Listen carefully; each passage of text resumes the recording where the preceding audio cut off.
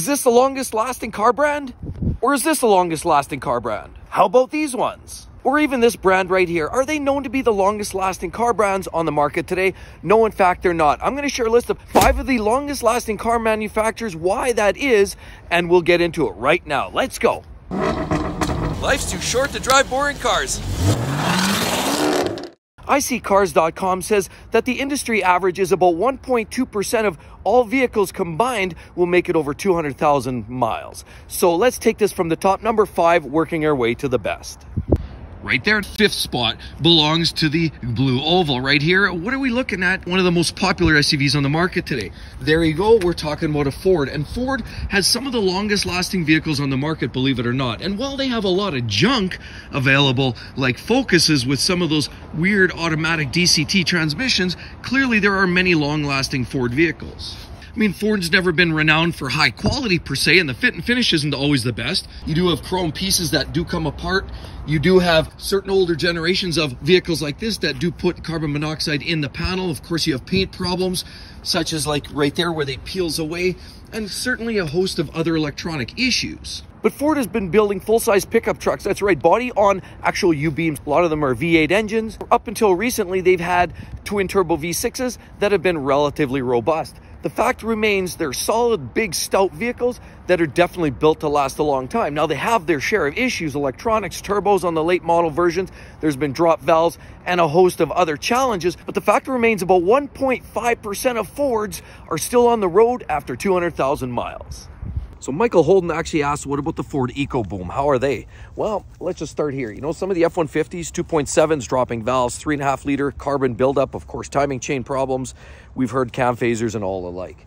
Of course, we have Escape, the early generations of these latest ones with the EcoBoost. We have coolant leaks. We have coolant making its way allegedly into the combustion chamber. You have overheating problems and a catastrophic failures waiting to happen. Turbos and leaks in general. And then the Eco Turd here, I mean the Eco Sport actually has another one, and that particular one has a timing has a timing belt issue as well, coupled up with another big one, an oil pump that's actually belt driven and is prone to failure at very, very low miles. Every specific EcoBoost engine has its own nuances and own troubles, but it's definitely one yeah, just keep on waiting. Maybe they'll get it right one of these days. Now, the next manufacturer that's clearly one of the top five for lasting the longest is from this particular brand right here. Well, this here is a Corvette. Everybody knows the distinguishable Corvette. Everybody definitely is familiar with what we're looking at here. Yeah, they have the big brakes and Z06. We have a hot rod version here. You can get a manual or an automatic transmission. And these are hot rod vehicles all day long. Why is that?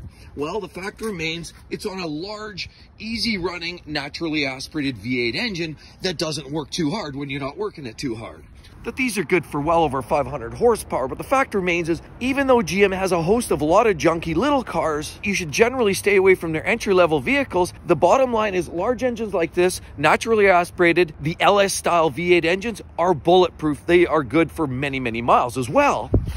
Chevy also builds big full-size vehicles like this. Pickup trucks, this clearly is built on a full-size half-ton chassis. What are we looking at here? Well, this is a Tahoe.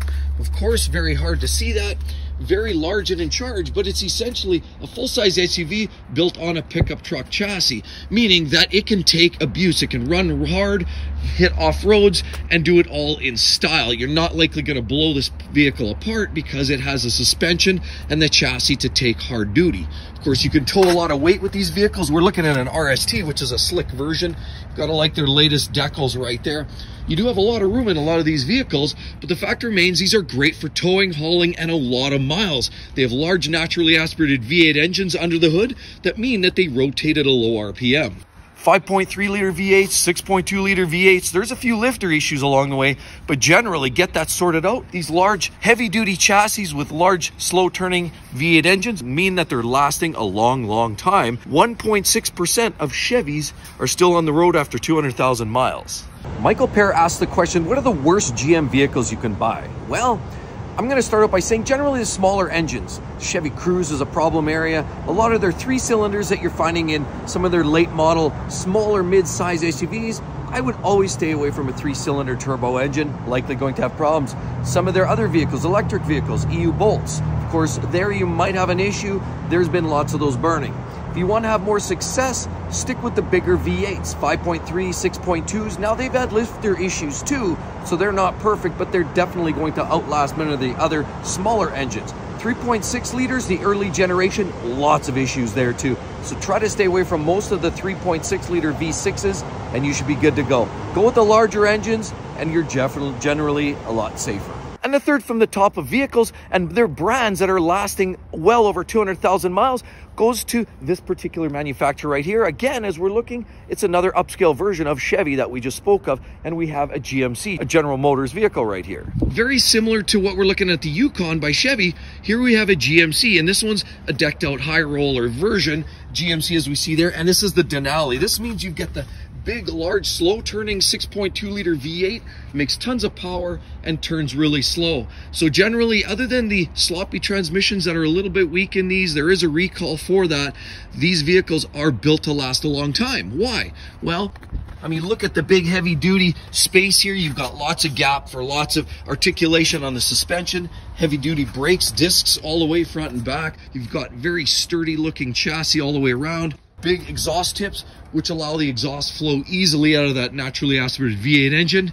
And again, as I say, overall, it's just a big, large, heavy duty vehicle that's built to just take up the bumps and the humps and heavy tow haul duty. Easy working, built to last a long time. So they're definitely good to last a long time, 1.8% over 200,000 miles.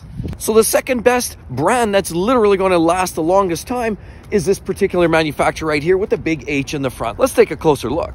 Here we have a Honda, clearly a late model version of this beautiful little sedan dressed in white here. Yeah, you do have some great touches and alloy wheels, small wheels, but they're affordable to replace. You have a sunroof as well as some great detail. Love the chrome detail as well there. And Clearly some nice rear LED taillights by this Honda Civic. Those Civics are going to last a long, long time. So are the Accords. The cars are generally built very well. But the 1.5 liter Turbo 4 has oil and fuel dilution issues. That's one of the limitations as well as some of the CVTs have caused a few problems along the way. But generally Honda is rugged and bulletproof. With vehicles like this beautiful little unit dressed in gray, we have an all-wheel drive HRV or the older school Honda CRVs. They're all built to last a long, long time. But Honda is still utilizing some naturally aspirated engines, V6 engines that are great for tons of miles. For example, the Honda Ridgeline, almost 4% of those vehicles last over 200,000 miles. And the Honda Odyssey, average about 3.2% of those make it over 200,000 miles.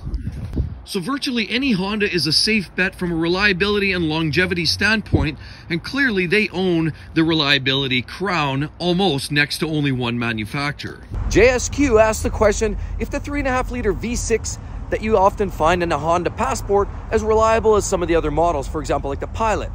Well, generally the 3.5 liter V6 is bulletproof. However, recent news off the up recent update in the news is actually stating that 2015 to 2019 three and a half liter V6 engines that you often find in a lot of those Hondas are now subject to a recall. 250,000 vehicles, yes, because of crankshaft defects and the fact that you could see rod bearing failures, catastrophic engine failures completely. Now, while this is not likely, there is a slight possibility of it definitely want to get it checked out and see if that vehicle that you've been shopping for falls within that space. NHTSA is your spot. And as such, Honda, 1.9% of the average of all Honda models make it over 200,000 miles. What's number one? Well, let's go. Right there, we have one of the longest lasting vehicles on the planet today. Yes, clearly because of whether you suit it with a hybrid drivetrain and a CVT transmission, or you select one of the naturally aspirated two and a half liter four cylinders or the naturally aspirated three and a half liter six cylinder engines, it comes equipped with drivetrains that are tested and true and will last the test of time. Now, clearly, we're talking about a Toyota here. I mean, vehicles like this are made simple, and Toyota takes pride in building vehicles that are reliable and never have too many issues. Clearly, we're looking at a hybrid. It's got the little blue T right there, and clearly, this vehicle is built on a very sturdy platform that's been around a long time. Beautiful laser cut rims, wonderful handles that don't break off in the cold, frosty weather, beautiful finishing on the back and they are no longer that boring car that many people assume that a Camry is.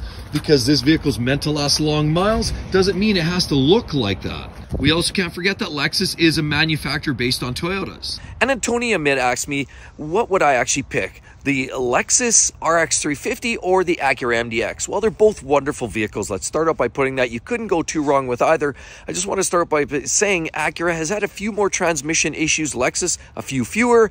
Lexus have clearly have some of the Toyota reputation. They actually have direct and port fuel injection, keeps the valves and the intake clean, whereas Acura does not. They just go with direct injection in the latest engines. They both have three and a half liters. They both put out decent amount of power and performance. Again, transmissions have been a little more problematic in the in the Acuras. Overall, Acura's got a little nicer styling and a lot nicer detail. And honestly, the Lexus has that front grille that you sort of have to love or not so much. So everybody, it's a personal choice, personal taste. You can't go too wrong with either. But if I were to buy, it would probably be the Lexus RX 350. And Lexus builds some of the most dependable cars, clearly because they're affiliated with Toyota. And here's another one, the 4Runner, clearly meant to tow some weight, has a great look to it. It's a very sturdy truck, clearly body on C-channel frame makes this vehicle very robust. The suspension is sturdy, lots of articulation. The vehicle is soft and supple on roadways, but it's clearly meant to be off-road. There's lots of room in there, and it carries the naturally aspirated 4-liter V6 with 270 horsepower in the latest generation. And that's what Toyota does best. They keep a lot of the drivetrains naturally aspirated that have been around for a long time, tested, run through and through, and they basically believe in if they've got something that works, rinse, lather, repeat, rinse, lather, repeat. Why fix what's not broken? And that's what Toyota does best, and that's why their vehicles last a long, long time. Largely, their larger vehicles with the V6s are the ones that you're going to find at the top of the heap for longest lasting vehicles, but they're all great. And that's why about 2.3% of Toyotas are still on the road after 200,000 miles. Reigning King. Now with all of that said, be sure to check out that video. Three of the worst car manufacturers I would never buy. Hope to see each and every one of you on the next one. We'll see you real soon. Bye-bye.